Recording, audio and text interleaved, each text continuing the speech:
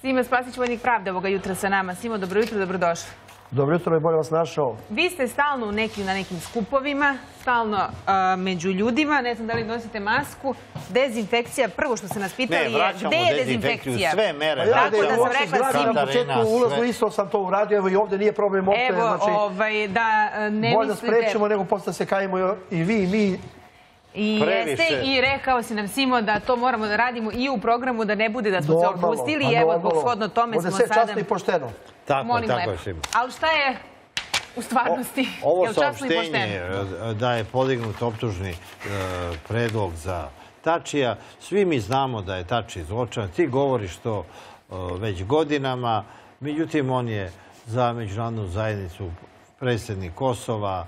On je čak u ovom času bio kooperativniji nego što je Hotiju koji nije učestvovao u ratnim zločinima jer je bio u Rugovinoj stranci. Čak su iz Rugovine stranke Tačijevi ljudi pobili borce e, Farka. Ti e, optužuješ, pošto si zemljak Tačijevi iz Drenice, e, ti o, optužuješ da su njegovi borci i komandanti oteli tvog brata koji je bio prva žrtva na Kosovu.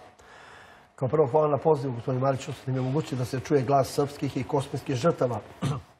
Dali smo saopštenje u celom svetu, dosta mediji su objavili čak i Kosovo, ovaj, Kosovo online, čak i neki šiptarski, albanski mediji dole, što je meni to drago. Ja sam ovdje koliko puta u vašoj emisiji rekao i po ceni mog života, ja ću se borim za pravdu za te žrtve. Uh, mnogi stručnjaci i mnogi analitičari ovaj, su na vašoj televiziji, na drugim televizijama pričali svoj deo strane i kako oni gledaju oko ove situacije. I, i ja sam i tada rekao oko onog hapšenja, ovaj, to je zadržavanje na aerodromu u Francuskoj Haradinaja, da od toga nema ništa, da je sve to politička Čekaj, farsa. ti misliš da, da je ovo samo jedna mina da bi se sprečili razgovori u Beloj kući i da će e, nekako da se izvuče Tači? Jer sada sud u Prištini treba za šest da se izjasne o tom predlogu.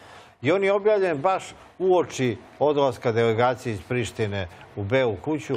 Znači, cilj je postignut. Ja mislim da, da su ovaj, neke strane službe, strane države, ovaj, sad, da, li, da li neko od bivše vlasti ovaj, u Americi, da da li Clintonova administracija, da li Nemačka, da li ovaj, kaubici Englezi, ali garantuju životom da je, da je neko sprečio da, se to ovaj, desi u Americi, ali, ali je nešto mnogo drugo bitno, da je, da je ovo sve ovaj, politička igra, politička farsa Zapada, evo, živi bili pa vidjeli, iz razloga što oni žele da trguju sa, zločinima, da trguju sa, žrtvama i oni hoće na ovaj način da a, svoju poziciju da, da Tači tamo bude predstavljen kao mirotvorac, kao humanista, a ne kao ratni zločinac. Ali, gospodine Mariću, ovaj, ne znam ko, šta će ko stručnjaka i šta su do sada rekli, ajde i da bude podignuta optužnica. Ovo je optužni predlog, a moje mišljenje je da će Evo, da, ovdje kaže da 200, odbiju 250 ljudi je svedočilo o zločinima. za 100 žrtava.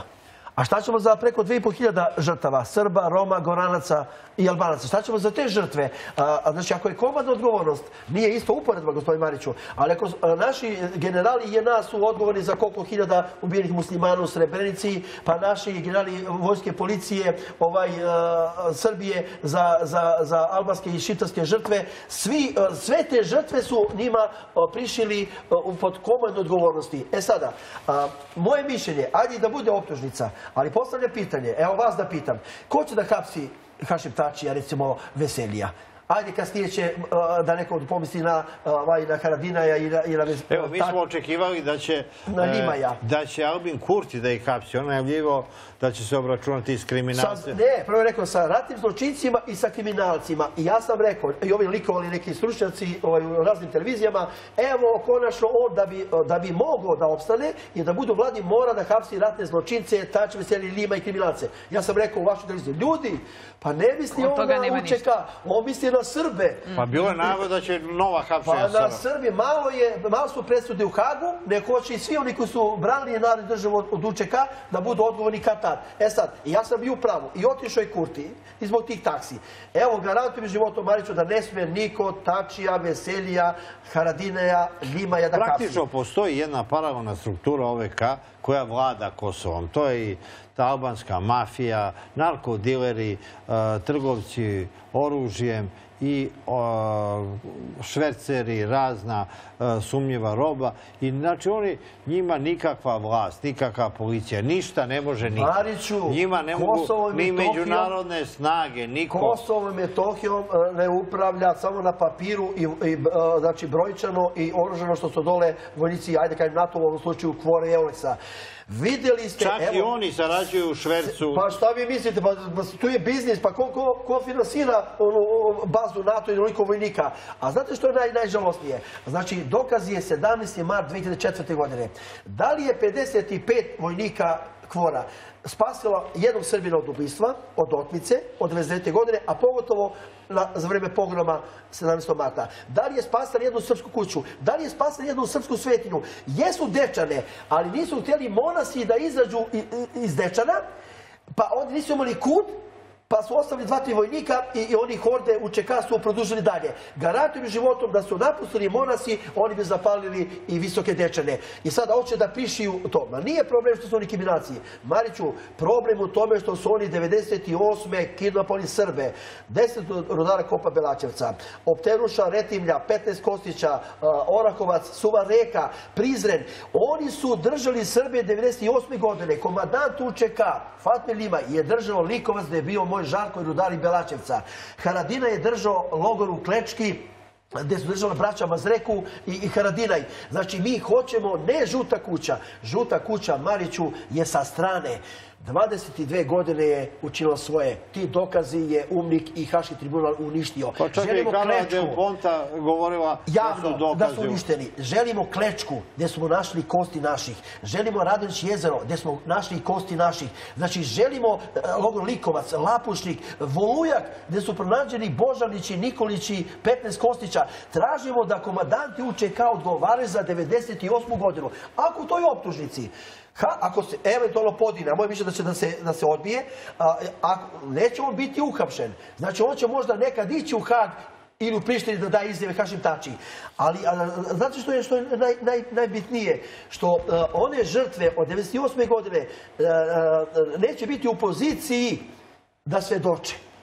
Tu, tu, ima, tu se terete uh, uh, Hašim Tači i, i Veseli, samo da znate, vjerojatno vi znate, 90% uh, su na tom spisku bijenih Albanci, uh, pripadnici rugovine stranke koji su oni ih ubijali. I Mariću, ono što ste vi isto posvjedočili, oni svi koji nisu dali uh, mušku glavu za UČK i nisu dali novac, a povodom su radili institucije države Srbije, od šumara pa do, do ne znam koga, su oni svi ubijeni kao srpski E, agenti. porodice tih ubijenih Albanaca, oni terete Tačije Veselija, a nisu smeli da terete Haradina o- i, i oni će Limaja. odgovarati za međusobne obračune među Albancima. Tu, ako budu osuđeni, u Sloveniji par godina. za Na zločine Srbima, ništa, Romima, neće. ni jedan dan.